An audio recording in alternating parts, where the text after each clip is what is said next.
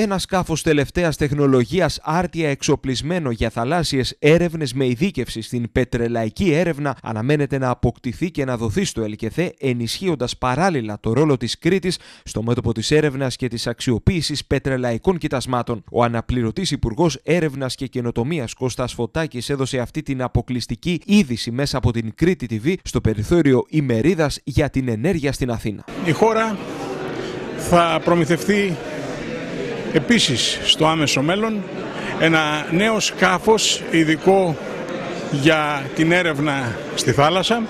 Αυτό το σκάφος θα ανήκει στο Ελληνικό Κέντρο Θαλασσίων Ερευνών, στο ΕΛΚΕΘΕ και βέβαια και αυτό θα έχει κατάλληλο εξοπλισμό για πετρελαϊκή έρευνα ασφαλώς με συνεργασία με τις εταιρείες εξόρυξης. Η Κρήτη φαίνεται πως εδρεώνεται στο κάδρο των ερευνών και της εκμετάλλευσης υδρογονανθράκων με φόντο τις εργασίες της κοινοπραξίας Total, ExxonMobil και ΕΛΠΕ στα δύο οικόπεδα νότια και νοτιοδυτικά της Κρήτης. Ήδη το επόμενο διάστημα αναμένεται να εγκαινιαστεί και επίσημα το Ινστιτούτο Πετρελαϊκών Ερευνών του ΙΤΕ από τον Κώστα Φωτάκη και τον Γιώργο Σταθάκη. Ενός νέου Ινστιτούτου ε, για πετρελαϊκή έρευνα το οποίο θα, έχει, θα είναι Ινστιτούτο του ΙΤΕ, του Ιδρύματος Τεχνολογίας και Έρευνας και θα λειτουργήσει καταρχήν μέσα στις εγκαταστάσεις του Πολυτεχνείου Κρήτης στα Χανιά.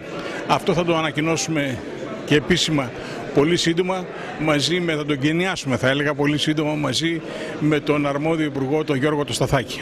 Η πορεία της έρευνας στον τομέα της ενέργειας στην Ελλάδα αποτέλεσε τώρα το θέμα ημερίδας που διοργανώθηκε στην Ακαδημία Αθηνών με τη συμμετοχή μελών της πανεπιστημιακής κοινότητας. Στο επίκεντρο βρέθηκαν οι προοπτικές ενίσχυσης των ενεργειακών δραστηριοτήτων, όπως και οι προσπάθειες που καταβάλλονται για να επιτευχθεί η ενεργειακή αυτονομία των νησιών. Αν δεν έχουμε συστήματα αποθήκευσης, αποτελεσματικά συστήματα αποθήκευσης ενέργειας, τότε οι ανανεώσιμες πηγές δεν μπορούν να μας βοηθήσουν διότι μεταβάλλονται στο χρόνο και στο χώρο. Το Πανεπιστήμιο Κρήτης δραστηριοποιείται πολλά χρόνια στον τομέα της ενέργειας και ειδικά στο θέμα του υδρογόνου, το οποίο δύναται να χρησιμοποιηθεί για καύσιμο σε μελλοντικά αυτοκίνητα.